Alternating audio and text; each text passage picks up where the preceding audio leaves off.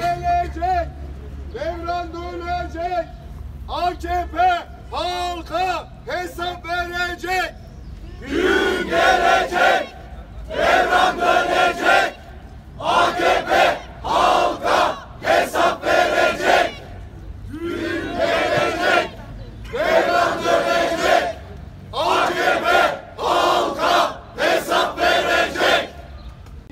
Bizim için çocuk yaşta bizden koparılan Berkin'dir. Ethem'dir. Ahmet Atakan'dır. Ara sokaklarda dövülerek öldürülen Ali İsmail Korkmaz'dır. Abdullah Cömert'tir. Hasan Ferit Gedik'tir. Mehmet Ayvalı Taş'tır. Medeni Yıldırım'dır. Onların katillerinin henüz yargılanmadığını unutmadık, unutmayacağız. Geziye sahip çıkmak, gezide kaybettiklerimize karşı da boyun borcumuzdur. AKP'nin ülkeyi sürüklemek istediği karanlığa karşı Gezi'de olduğu gibi bugün de direnmeye, boyun eğmemeye, memleketin her köşesinde toprağımıza, parklarımıza, ormana sahip çıkmaya devam edeceğimizi ve bu daha başlangıç, mücadeleye devam diyeceğimizi buradan ilan ediyoruz.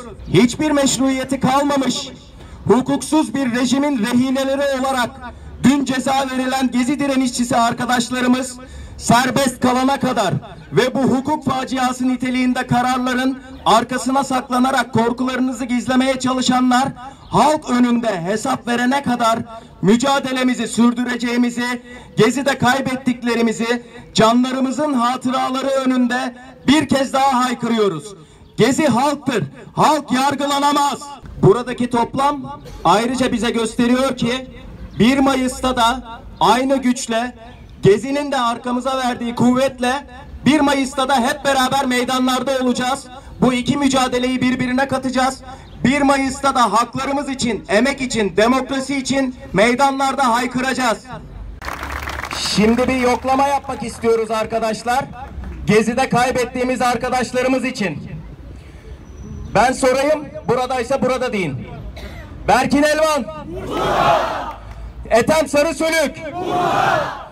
Ahmet Atakan. Ali İsmail Korkmaz. Abdullah Cömert. Hasan Ferit Gedik. Mehmet Ayvalıtaş. Medeni Yıldırım. Muğla halkı. Muğla halkı. Muğla halkı. Bu